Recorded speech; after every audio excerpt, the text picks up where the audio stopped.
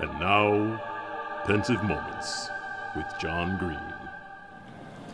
Kenyon is known for having highly accessible, world renowned faculty members coupled with very small class sizes.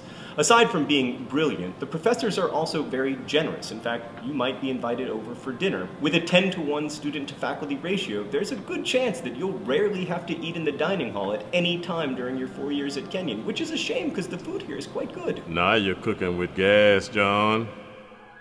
This has been Pensive Moments with John Green.